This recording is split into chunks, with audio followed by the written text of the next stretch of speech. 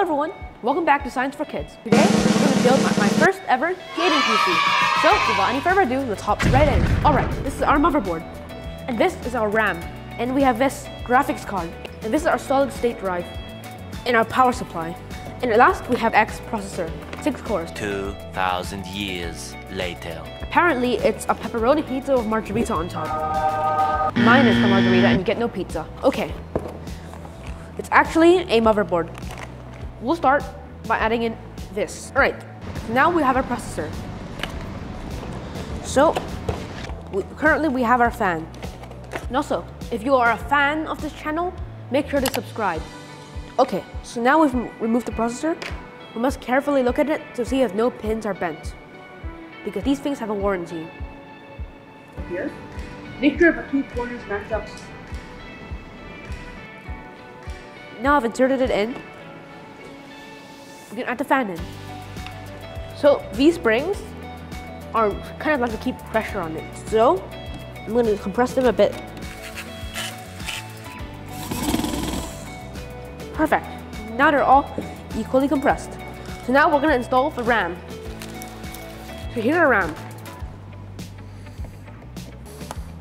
Done. So moving on to the SSD. We'll get a screwdriver and unscrew this thing. Now, we're gonna put it on the second slot. So we put it in like this, and you push until it clicks. So now we're gonna put the motherboard into the case. Now we're gonna get these screws, put them into every one of these holes. All right, so now we're gonna screw in the last screw. Done. There, you can see that this is where the power box goes, which I will now go and take it, take it out. Here is our power box. So, we're gonna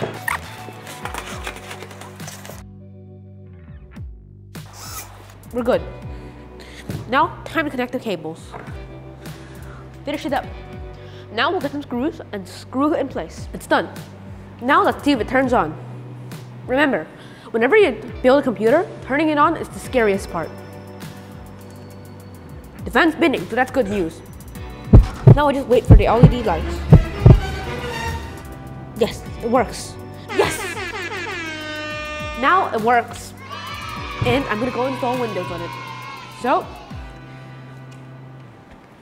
I hope you enjoyed this video and make sure to subscribe and like if you enjoyed it. And if you want to watch further content, make sure to turn on the notification bell and I'll see you in the next video. Peace.